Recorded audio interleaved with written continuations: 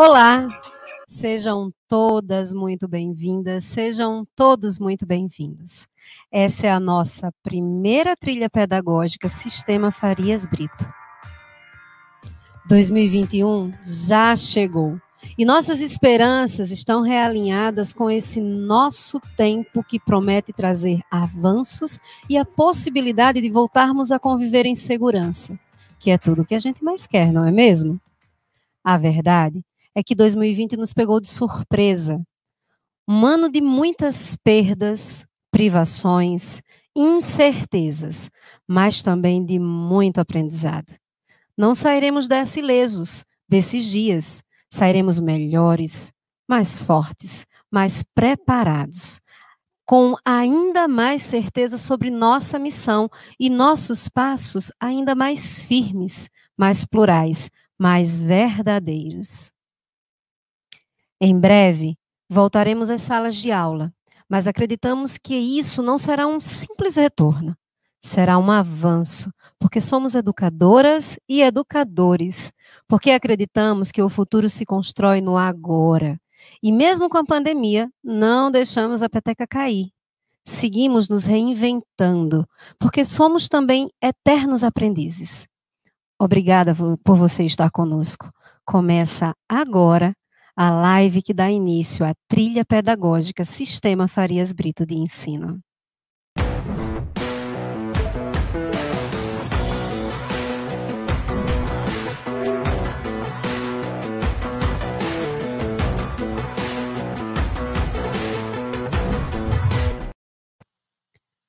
Eu sou Ana Paula Souza, gerente de serviços educacionais do Sistema Farias Brito. É um prazer estar aqui com vocês na nossa primeira live Trilha Pedagógica SFB.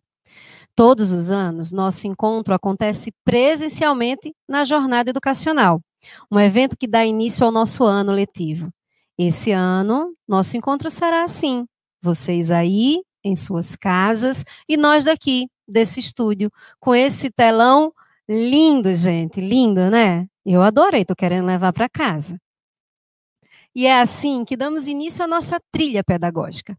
Para isso, queremos que vocês participem da nossa live de duas formas. Uma é pelo chat, e aí nós temos uma pessoa do Farias que está lá, ligadinha em tudo que vocês estão falando. A gente quer saber o que vocês estão achando de tudo isso. Manda o seu comentário, vem participar com a gente. A segunda forma é pelas hashtags que vai mudando ao longo de nossa live. Olha que chique. E a nossa primeira hashtag é hashtag live trilha pedagógica SFB. Tudo junto sem acento. Vamos lá? Escrevendo no chat. Usa no chat, nas redes sociais e fiquem de olho que sempre que muda a hashtag, muda o nosso assunto. E assim a gente segue na mesma página porque nós preparamos uma programação incrível para vocês hoje e não dá para perder nada, né? É a nossa forma de estar mais perto de você. É assim que damos as boas-vindas a 2021.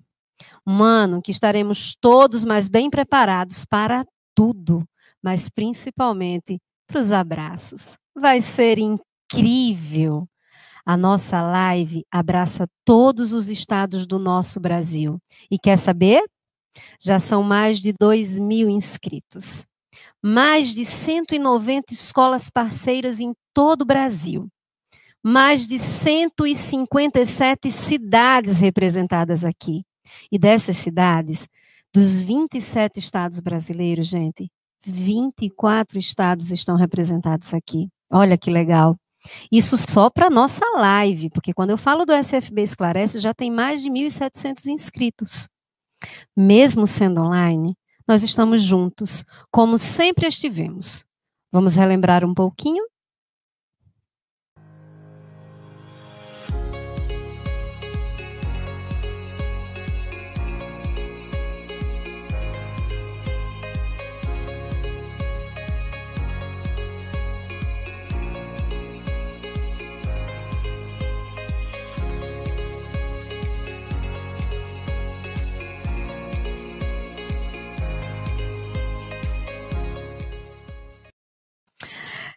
Que momento, só para me provocar. Eu que adoro logo dar uns arroz, dar uma saudade, né? Que saudade de uma aglomeração, meu povo. Isso é para vocês que já fazem parte dessa jornada e para vocês que estão chegando agora. Saibam que vocês não estão sozinhos. Não importa se o ano vai ser desafiador, se vai ter pandemia, se a gente não vai poder se encontrar presencialmente agora. Não importa. Importa que você vai poder sempre contar com a gente. A sua conquista é a nossa conquista. Tanto é assim que o Sistema Farias Brito está realizando desde novembro do ano passado o processo de implantação, com um conteúdo especial que nós colocamos na plataforma de formações do SFB e que durante todo esse mês de janeiro segue com o SFB Esclarece. É o nosso espaço de escuta. Nós queremos ouvir você e esclarecer todas as suas dúvidas. E a trilha pedagógica, que começa hoje, com essa live linda, cheia de novidades e conteúdos. E a nossa trilha segue até o final de março. Começa amanhã um conteúdo que a gente vai disponibilizar na nossa plataforma do SFB Esclarece, tudo online. Fica atento, mas calma. Eu vou falar tudo isso em detalhes para vocês logo mais, tá bom? E ainda hoje temos de trazer para vocês ela, que é referência no método de ensino híbrido no Brasil, a Lilian Bassic. A Lilian já está ao vivo com a gente, pronta para a nossa conversa. Mas agora a gente vira a página. E quando vira a página, troca a hashtag. Quero ver aí no chat surgindo a nova hashtag. Ribamar na trilha SFB. Hashtag Ribamar na trilha do SFB, tudo junto. Professor Ribamar é diretor de negócios do Sistema Farias Brito, já está no link conosco e traz uma fala fundamental para todos nós. Boa tarde, professor Ribamar. Boa tarde, Ana. Oi. Boa tarde a todos vocês que Tá me ouvindo? Agora sim. Oi, Ana. Ah, obrigado. Boa tarde a você, boa tarde a todos aqueles que nos assistem agora. Esse é um momento histórico é, que estamos vivendo aqui no SFB e certamente vocês, como escola, é, porque apesar de ser um ano desafiador, também foi um ano é, que, que deu para a gente é, a certeza de que nós somos mais que vencedores, que suportamos mais do que a gente imagina e trouxemos grandes aprendizagens do ano passado para esse e também é, imagino que vocês estejam ansiosos por nos ouvir e traduzir esse conhecimento que vão receber a partir de agora em planejamento, em ações para o próximo é, ano letivo. Então, muito obrigado pela oportunidade de falar com todos vocês. E eu vou compartilhar a minha tela é, para que a gente possa ter um, uma tarde produtiva, de bastante informações. E eu queria começar dizendo que isso tudo, gente, vai passar. E o que nós planejarmos agora vai definir o que seremos pós-crise. Essa é uma certeza que eu tenho. E como eu tenho portanto, aí 30 minutos para conversar com vocês, é um tempo mais curto. Eu vou ser bem sucinto, mas com relevância de tópicos que eu quero abordar aqui para vocês, como uma provocação muito mais do que é, entregar respostas prontas, mas pelo menos alguns caminhos que vocês podem é, buscar seguir. E se a gente tinha sido impactado ano passado por, por o que a gente chamou de um novo normal, Agora a gente está com um novo presente na mão. E é essa leitura de cenários que eu quero apresentar para vocês, um mergulho, portanto, nas macro mudanças, para que nos ajude a planejar esse futuro, é, em especial esse novo presente que é, se apresenta para todos nós. E a primeira coisa é essa mudança do, do do que a gente chama de baixo contato, economia de baixo contato. Ela chegou e nós já temos mudança. E, em especial, a mudança é essa. É a mudança que chegou para ficar. Nós, portanto, estamos diante de algo que ele será permanente, não é de maneira só passageira.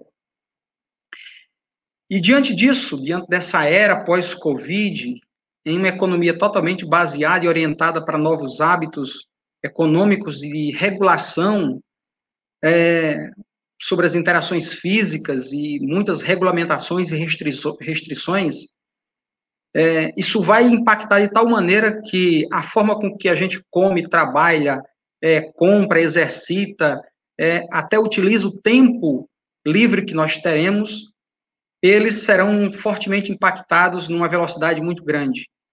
E nós mapeamos os, as oito principais mudanças para que vocês possam ter aqui substrato suficiente para um, um repensar, um replanejar de 2021.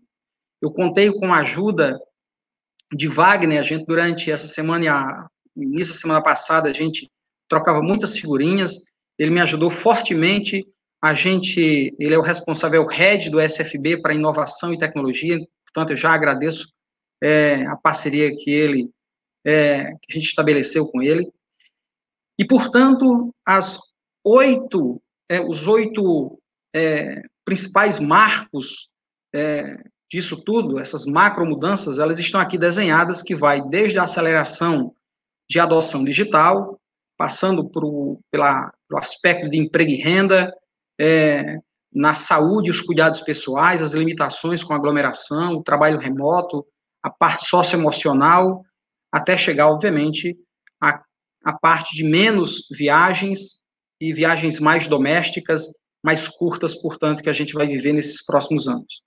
Então, eu quero fazer três etapas aqui da minha fala. Essa primeira etapa, portanto, é dando um panorama e, e subsídios para vocês fazerem esse repensar. E, em seguida, a gente vai para um pouco de como é que a gente pode se reestruturar para fazer diferente, para inovar dentro da educação, é, diante do cenário em que a gente vive, com os recursos que, obviamente, a gente tem. E começando por essa aceleração de adoção digital, é, isso aqui é um gráfico é, feito pela World in Date que mostra o seguinte: a, aqui é a, é a parte de adaptação tecnológica das famílias americanas. Se você observar o gráfico, ele está de 1860 a aproximadamente 1000 800 e 1960 para chegar no platô de adaptabilidade tecnológica, a família americana levava 100 anos. Isso vale para todos nós, é, porque a pesquisa aqui é americana.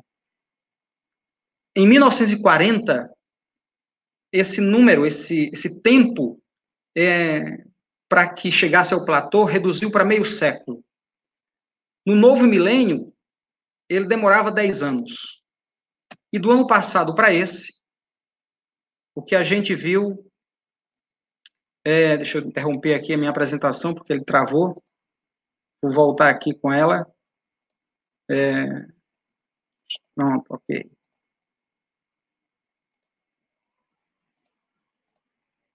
Agora dá para ver. É, e o que, o que você pode ver é que agora são questões de meses. Dois, três meses, aquilo que é produzido na China, é, do outro lado do mundo, a gente começa a consumir nos rincões do Brasil. E isso muda, portanto, a forma com que a gente se relaciona com tecnologia. E, em especial, nesse mapa de oportunidades de TE, portanto, um olhar mais para a tecnologia da educação, vocês já devem ter sentido isso pelo consumo de tutoriais e, e, e vídeos de mentoria que vocês devem ter já consumido vocês mesmos adultos e professores. Portanto, é, essa é uma grande oportunidade que a gente tem na mão dentro da área de educação. E, obviamente, o Farias Brito foi rapidamente é, se adaptando a essa nova realidade, entregando uma quantidade gigantesca de produtos, a ponto de que essa nova geração de LMS que a gente está colocando à disposição, inclusive com nova interface para o professor, é, era já uma demanda que a gente tinha mas especialmente ela acelerou, acelerou muito em função do que a gente viveu em termos de é, onboard de, de tecnologia educacional. E tem coisas como ainda tendência, como a parte robótica, a, o STEM, que é Ciência Tecnologia, é, Engenharia e Matemática, que é a sigla americana para essa área de maker, E interessante que o Instituto Toluna fez uma pesquisa para Globo é, e com alunos. E olha que coisa interessante, olhando para esse modelo híbrido de aprendizagem que a gente está vivendo e que não vai ser diferente em 2021. Os alunos acreditam que o ensino mudará definitivamente para o híbrido, que é presencial mais online. Portanto, essa é uma percepção deles é, a partir dessa, desse instituto é, de pesquisa. E quando a gente olha, portanto, para essa parte de, de híbrido, a gente não pode é, deixar de lado o, o EAD, ou seja, de uma maneira mais estruturada do que só simplesmente uma parte online dessa, desse conteúdo. E o interessante é que esse mesmo instituto ele trouxe para a gente um, um, olhar em que o brasileiro está olhando diferente o EAD, ou seja, mais de 60% já olham com bons olhos, uma boa perspectiva, o EAD. É, e as barreiras que antes superavam 60%, 70% de rejeições, que são as barreiras é, que estão aqui é, postas, todas elas estão com índice inferiores a 50%. O que significa dizer que nós poderemos ter aí algum avanço é, das escolas mais bem organizadas com o físico e o digital, e daqui a pouco eu dou algumas ideias de como é que a gente pode fazer isso de maneira é, mais efetiva. Em relação ao desemprego, gente, é, em relação ao emprego e renda, a gente precisa dar um panorama para vocês pelo menos entenderem como é que está o mundo, e aí a gente pode ir para nossa, o nosso ambiente regional e mais doméstico, e aí você consegue tirar um, uma, uma boa percepção. O primeiro deles é quando a gente olha o cenário internacional. Ou seja, as economias do mundo, no 2020, elas tiveram um colapso de PIB, né, eu estou falando. É, tirando a China, que vinha crescendo a ritmos de 6%, é, foi a única, é, o único país é, grande, representativo, que efetivamente manteve-se no azul. Os demais todos tiveram colapsos. Mas há um otimismo de retomada do crescimento interno dos países, da produção bruta né, do, dos países, e, ah, obviamente, quando você cresce 6,2 sobre uma um PIB menor de 3,4, esse não é um número é, tão otimista assim, mas já é um, um resultado é, animador para todos nós. Quando a gente dá um mergulho mais voltado para nosso terreiro aqui na América Latina, você olha aqui, lá embaixo você vai ver que Argentina, Chile, é, Colômbia, México e Peru, que são as, as economias mais emergentes mais representativas da América Latina, fora o Brasil, todas elas em, em 2020 elas colapsaram é, em números fortemente de queda de PIB, mas todas elas estão é, colocando dados é, no mercado que mostram uma retomada é, e retomadas como por exemplo no Peru uma retomada muito forte, tá? E como é que nós estamos no Brasil nesse cenário? Alguns dados são importantes para vocês e não só para olhar o 21, mas olhar uma régua de tempo é, quando a gente, a gente, olha o timeline disso, o PIB nosso tem uma expectativa já posta de 4%, é, acima do que é, a gente tinha. A taxa de desemprego continuará sendo, alta para um, um país que tem 106 milhões de pessoas na atividade econômica, 15,3% de, de desemprego significa 16 milhões de pessoas desempregadas é, e esse é um número que não vai baixar em 2021, infelizmente. Portanto, se você está empregado, está aqui conosco, você já é um privilegiado dentro de um país que tem tanta gente desempregada é, como o Brasil. O, a inflação, de uma certa maneira, está controlada. A taxa Selic, basicamente, é, que é o que determina todos os juros, a partir dela, está em níveis, em patamares baixos, é, muito baixos, por sinal. A gente, obviamente, tem um câmbio desvalorizado, ele vai permanecer assim, são, ou seja, na casa de 4,75 ao longo desses dois próximos anos, então isso desestimula muito as suas viagens, caso você queira fazer viagens internacionais. Para países de moeda forte, isso vai, obviamente, impactar, e a tendência é que a gente faça mais o turismo doméstico mesmo, do que é, sair para países de, moeda mais forte. E quando a gente olha também para o cenário econômico na área de serviços, ou especialmente bens de consumo, é, o setor de bens está, o que a gente chama, os economistas chamam de curva V, é um crescimento que teve uma queda, mas em compensação uma rápida retomada. Mas o nosso setor, que é o que nos interessa, é um setor que ainda tem patamares muito deprimidos e, portanto, a gente não vai ver tanto crescimento